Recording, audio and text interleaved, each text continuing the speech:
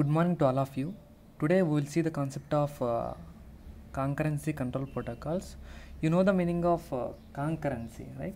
So concurrency means uh, it is a process of uh, managing the simultaneous execution of transactions.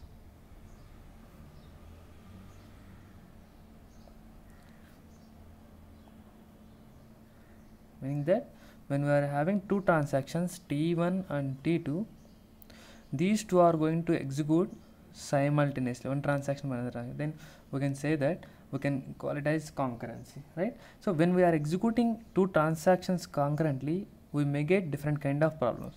Among those the one of the problem is uh, different type of uh, conflicts. Like anything read write conflict write read conflict or write write conflict and there are some problems like regarding consistency meaning that when we are executing any database concurrently there is a chance of occurring inconsistency of data. And we may get the problem of uh, isolation also. Okay. In order to overcome all these problems we are having different kind of protocols. Those protocols we are calling it as concurrency control protocols. Okay. Now we will see different type of protocols. First one is uh, lock based protocols.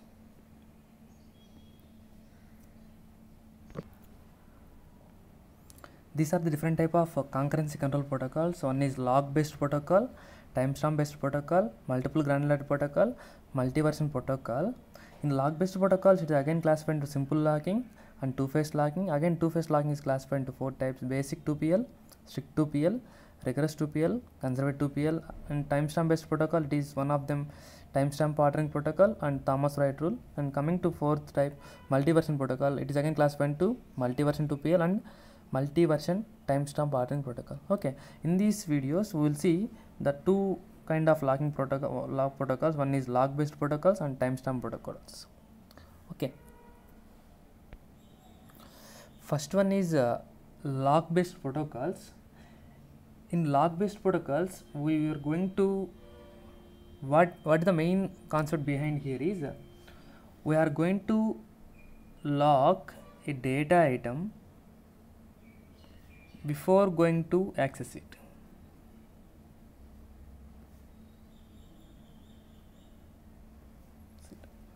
Okay. If you want if you have if i am having a data item a if I want to access it meaning that if i want to read this data item or if i want to write this data item we are going to first lock then only will perform either read operation or write operation. And this lock is of different type of locks. One is shared lock another one is exclusive lock. Shared lock we simply represent with s and exclusive lock is represented with x. S- it, it may vary from textbook textbook but generally s and x. Okay. This shared lock is meant for is also called as read lock. Mean this shared lock is meant for in order to read any data item. If you want to read a data item we are going to acquire shared lock this exclusive lock we are going to as write lock. And we will use this exclusive lock is meant for either read operation or write operation. The general representation of shared lock is we will write like uh, lock underscore read of data item and lock underscore write of data item or anything. In place of r i can write yes or in place of write i can write x. It depends upon the textbook. Okay. Meaning that if i am saying that lock underscore s of b what is the meaning of this one? Meaning that i want to read the data item b so that please provide one shared lock. If i'm writing like lock underscore x of b I want a data item B in order to write some data over B. That represented by exclusive lock.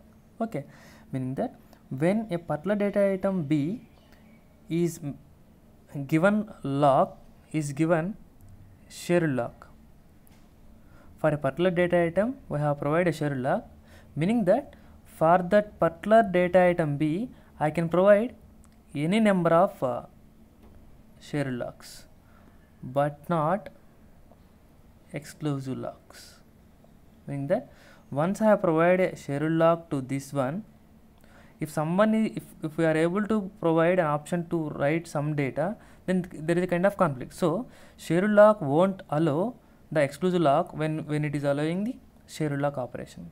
Similarly when we have given an exclusive lock for a data item it won't allow to share that data meaning that it won't allow you to provide an access for shared locks. Okay so if i simply if, like that let us take i am having a shared lock and the for the shared lock the shared lock has given to some data item a.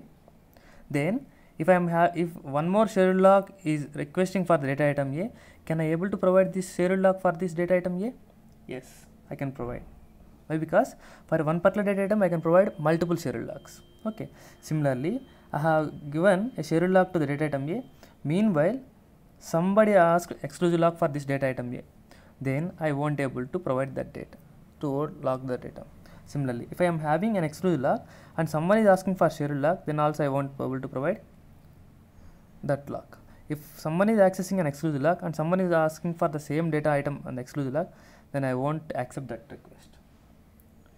Meaning that if a data item if a data item is already in shared lock and someone is asking for shared lock then we can provide that shared lock if someone is already in shared lock and someone is asking for an exclusive lock then i won't provide that similarly this will work.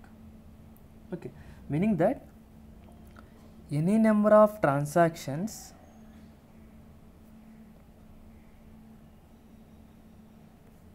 can read a particular data item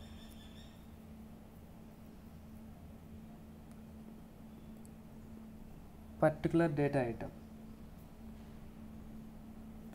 But even one is writing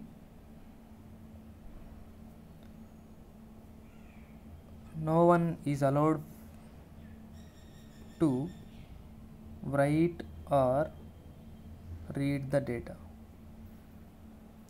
We can simply call it as simple locking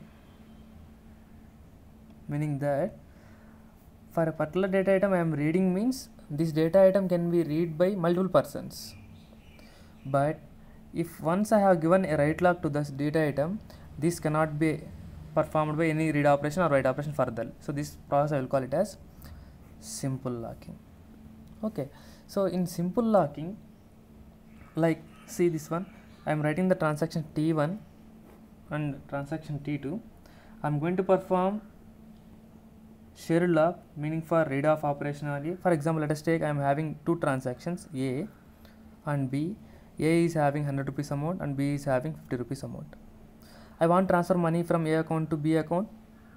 Okay, meaning that if I am going to subtract amount 50 here you are going to get the total amount here is 150 after adding these two the total amount here is 150 meaning that before performing transaction I need 150 here and after performing the transaction I need 150 here. So for example we are using the simple locking protocol. If you want to transfer amount A trans amount from A account to B account for the transaction 1 then I will do like first I am going to read the data then I am going to read it then I am going to unlock that shared lock. Okay. Then what I will do? I am going to write the data. In order to write means I need to modify the data. In order to modify the data I need to apply exclusive lock. Lock underscore exclusive lock of B. Then I will perform A equal to A minus 50 and they will apply unlock of uh, sorry here A only right? Unlock of A. Then these 50 I need to modify to B right? So then I will apply exclusive lock lock of exclusive lock of B b equal to b plus 50 unlock exclusive lock of b try to understood here okay this is simple nothing but simple locking because exclusive lock will be applied for only data item A and exclusive lock will be applied for only data item B. When it is performed these two transactions, it won't acquire any data. Okay. So here what is happening is try to understood. Generally, if we, if execute this process, it will work consistently, meaning that the database is in consistent state. But here if I will define one rule. It is reading the data item, it got 100, then it is modifying, it is left to 50. Later, when it is unlocked, it is failed here. It is failed here. Once it is failed once it is failed what it will happen? It will generally roll back. Roll back. Okay. So for example here the data amount is 150 is uh, drawn. So 50 is completely failed. Now once we see this transaction what will happen? Here the value of a will be 50 and the value of b is 100 itself. Sorry value of b is 50 only. Why? Because this particular statement is not executed. So if you find out the total here here we will get 100 so this represents inconsistent data meaning that in simple locking one of the drawback is inconsistency. And there is a one more drawback that is uh, deadlock. And the drop another drawback is there that is we may not get serializability.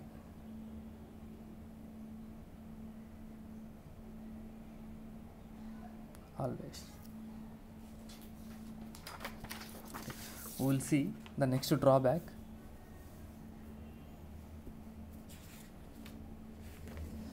the next drawback is deadlock right?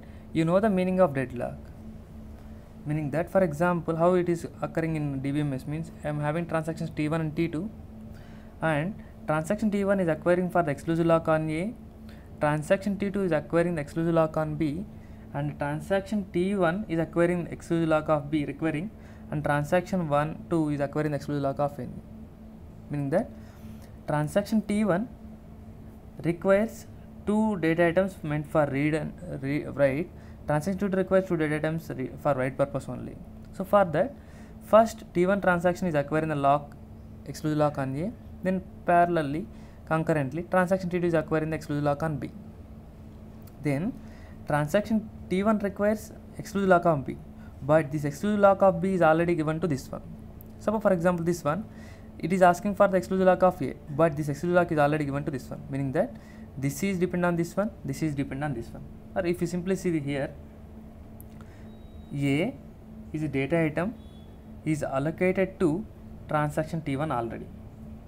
And I am having a b data item and that b data item is already allocated to transaction t2 and transaction t1 is asking for exclusive lock of b. Is asking for exclusive lock of b. Okay. And transaction t2 is asking for exclusive lock of a. Simply observe here. If you observe here it's a kind of uh, looping. Whenever you observed loop then i can say that there is a deadlock. Meaning that the data item a is locked by transaction t1 and the data item b has been locked by transaction t2 and t2 won't lock a T2 won't lock on A and T1 wants on lock on B. Okay, what I am saying is T1 is asking for B, T2 is asking for A, but it is uh, it won't uh, re uh, reallocate. So here you may get deadlock. So this is one of the problem of uh, simple locking.